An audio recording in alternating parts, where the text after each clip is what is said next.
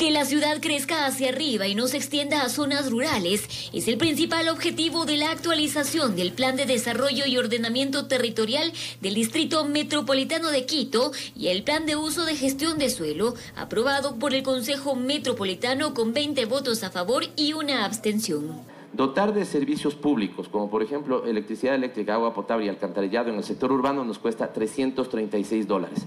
Esos mismos servicios en el sector rural nos cuenta 1.277 dólares. Por lo tanto, no habría recursos que alcancen para fomentar un crecimiento hacia los valles. Debemos más bien buscar ese fortalecimiento de crecimiento hacia los sectores urbanos.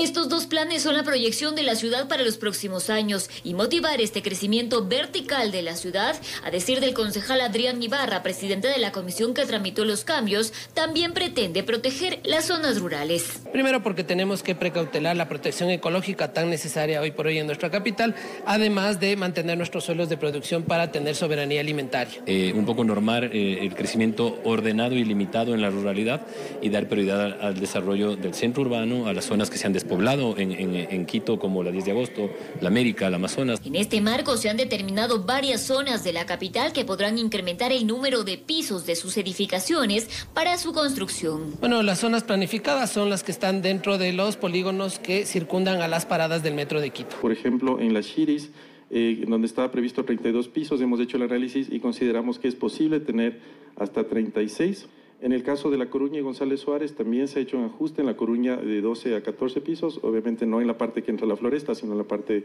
eh, del barrio La Paz.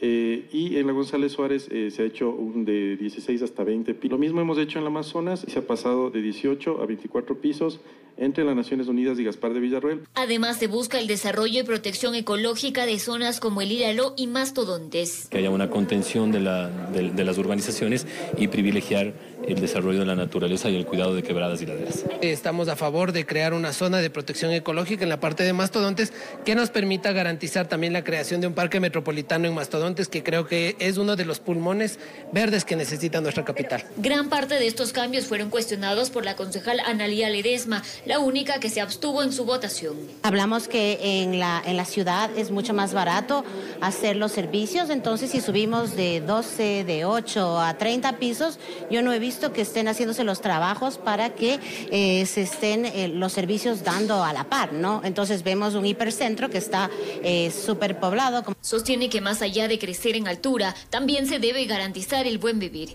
En Quito informó Adriana Rojas.